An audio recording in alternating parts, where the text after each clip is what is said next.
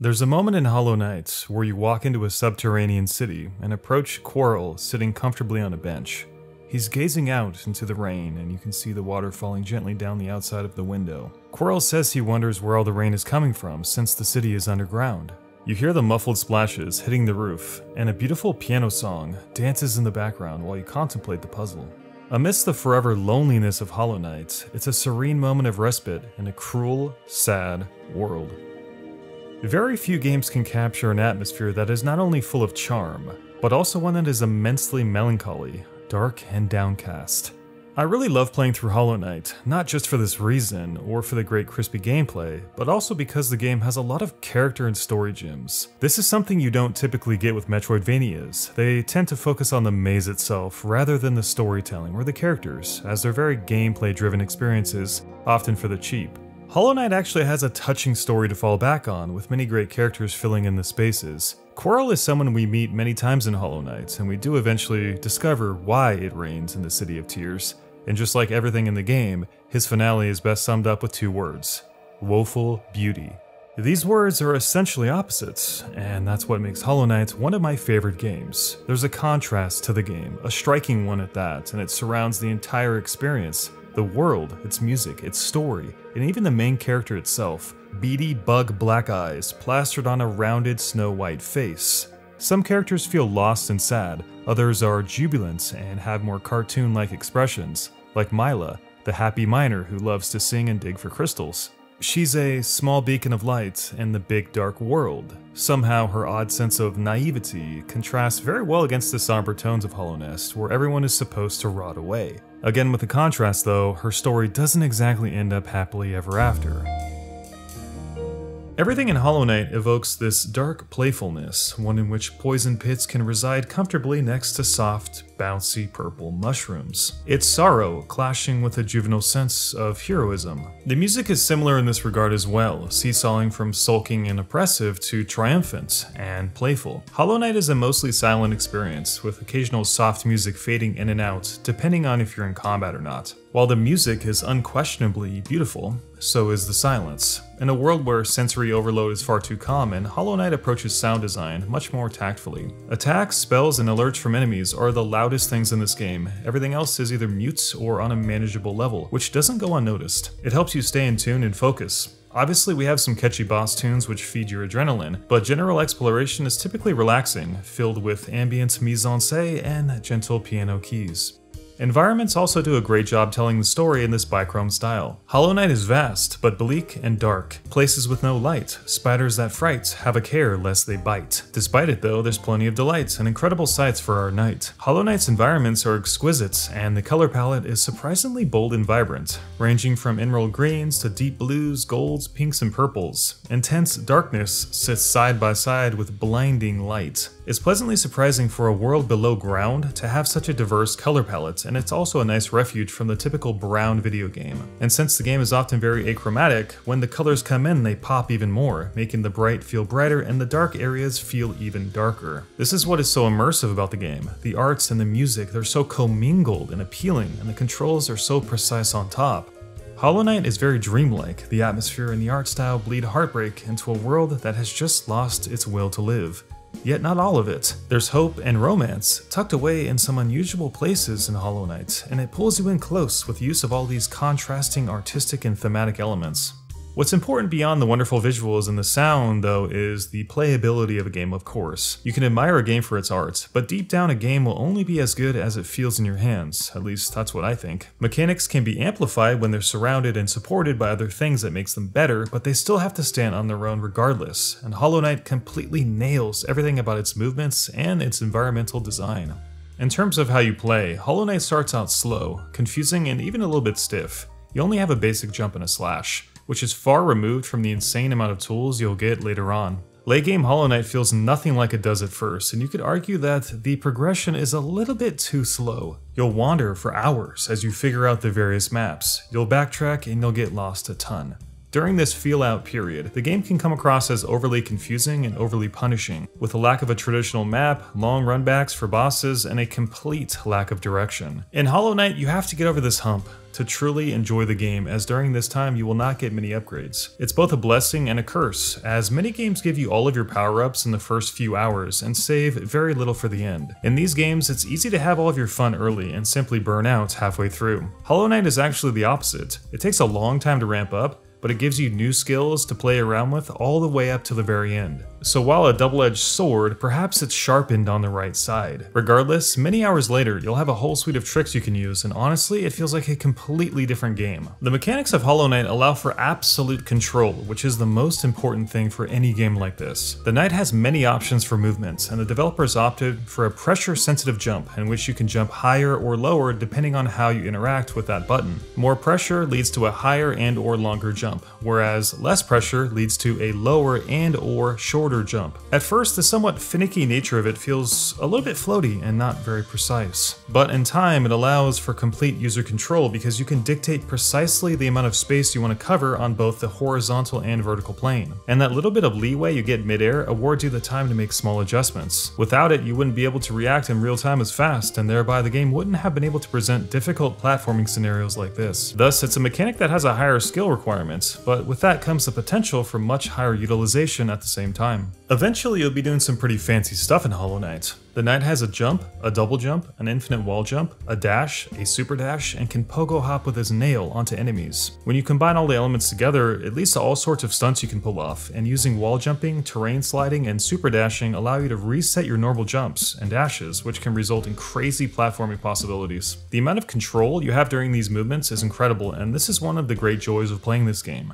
Team Cherry presents awesome challenges, and I can recall so many moments where I was zipping and flying through the air, grinning from ear to ear once I mastered the mechanics. There's so much opportunity to mix and mash the various options together that you can truly navigate obstacles in many different ways and kind of create your own style as you play. Granted, it would have been nice to have some better instruction for some of these mechanics, some things just don't get explained, like how the game doesn't mention how to pogo hop pretty much at all. This technique is fairly important for some areas and can make platforming a lot easier. Not only does it act like a free jump button, but it also lets you dive or jump afterwards to reach higher places in one seamless animation. It's a useful tool at all stages, especially during the White Palace, where pogo hopping on moving objects is required. The game also doesn't mention the quick cast button, or that you can mash the attack button during Cyclone Slash. This ups the hit count from 3 to 7. Very useful for one-shotting enemies in the Colosseum. Using Quick Cast shoots your spell when you press the button versus when you release it, which results in the spell coming out slightly faster with the Quick Cast button.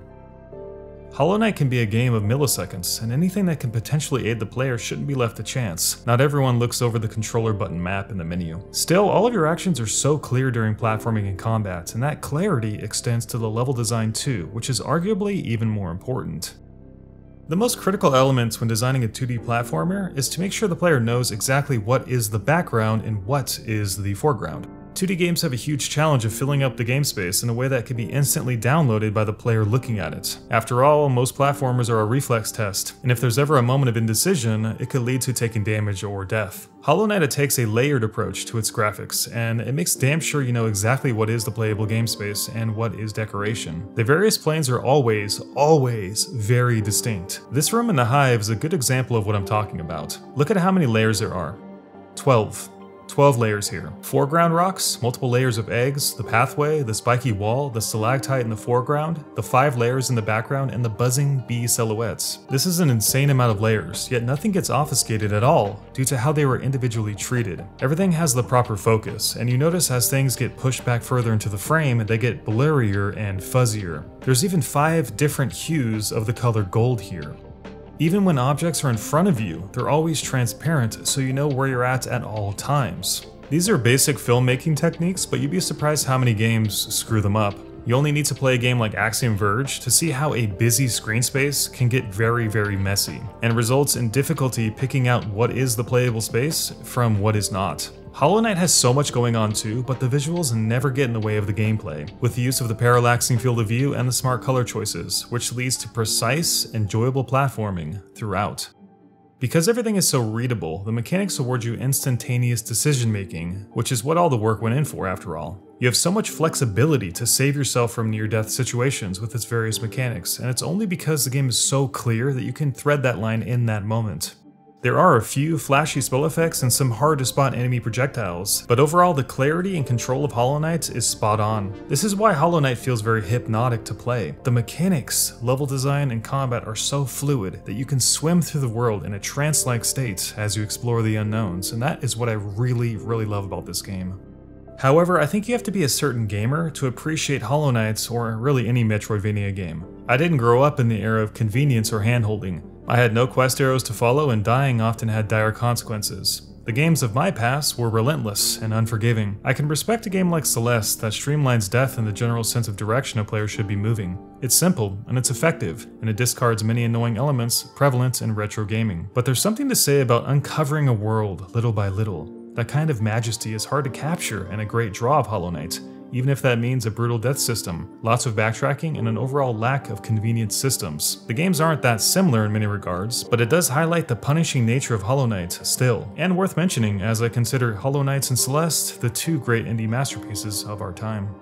Granted, some additional quality of life features would have been nice.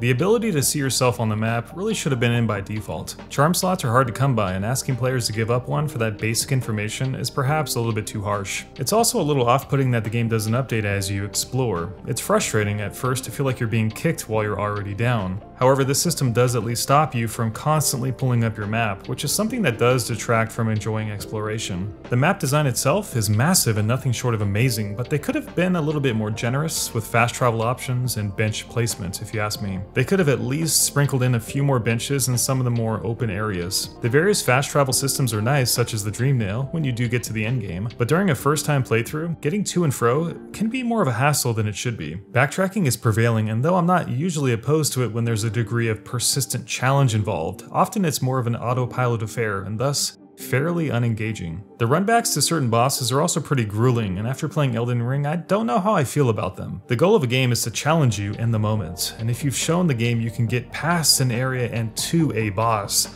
does it really make sense for you to have to prove it again and again simply because that boss killed you? Hollow Knight is a game of learning attack patterns in a system of trial and error, which is fine but this does come with heavy backtracking implications. Certain bosses in Hollow Knight have very sudden, almost gimmicky tactics that can surprise you like the Soul Master. So it's not uncommon to die a few times before you learn how to beat them, and having to run back through huge areas where you're not really being tested leads me to wonder if a boss checkpoint system should have been considered.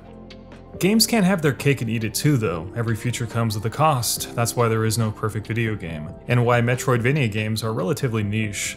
Add in a follow me quest arrow or some more benches, and you've gained convenience, but you've sacrificed some of the feeling of adventure. Leave them out, and you've got players feeling like a true explorer, but they might get frustrated at the lack of direction or the hassle of everything. Think of any gameplay feature ever made, it's gonna come with a trade off.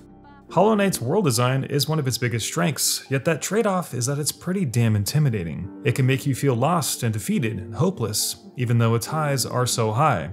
To be left alone to explore a big world and figure things out for yourself can be a true wonder, but that also can be a means to alienation.